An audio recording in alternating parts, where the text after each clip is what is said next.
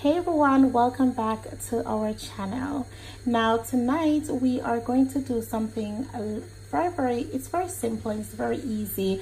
It's some um, chicken liver and i know some people don't eat um, these parts but um, for me if you do eat the chicken then it's no big deal having the chicken liver. So we have here in our parrot dish um, some chicken liver which is already washed it's already cleaned up basically. My mom removed all the little bits and the strips from it which is um, the unnecessary part so you can do that too.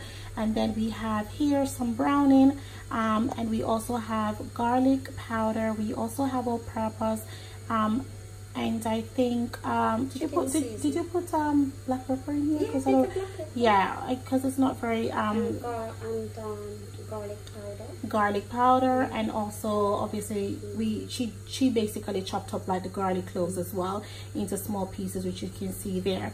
And over here she also have like her ground season which is like her bell pepper. There is a few um variety of colors right there from red to green to yellow. We've got onion we've got scallion we've got scotch bonnet pepper.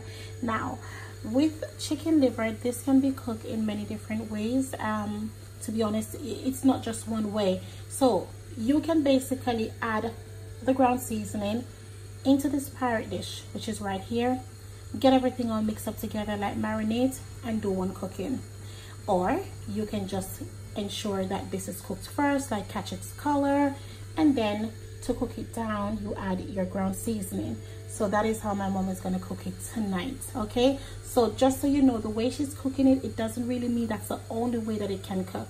It can cook both ways many different ways. You want to know what you can pair it with? It can be paired with soft bananas dumpling yam sweet potato you name it. And it can just also eat with white rice if you're a rice lover. And it can also eat with just bread totally up to you whatever you want to eat it with.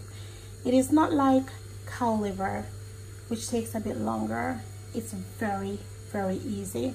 Now i'm just gonna ask my chef which is my mom roughly how long does this take? Just 10 minutes. 10 minutes. You hear that? The professional key quick answer right there. So guys you just want to stay tuned and just um watch this little video. And if you've got any questions just leave it down into the comment section. And you can feel free to like share you know like forward our video. And thank you so much for your support. Um, and we'll show you the next step how we prepare this simple chicken liver meal tonight. And so guys here we do have our chicken liver added to our pot okay so what we're going to do is allow this to brown nicely. And this is not going to take long in the next five minutes or so.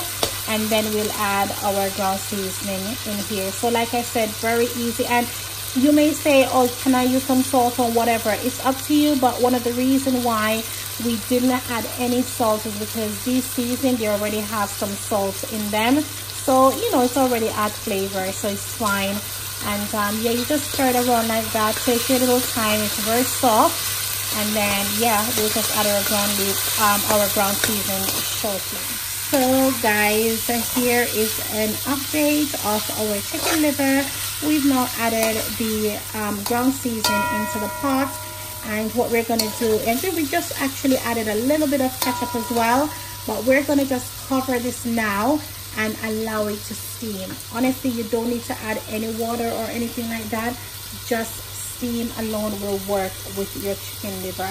We're just to let this steam for the next six minutes and we should be done and out of here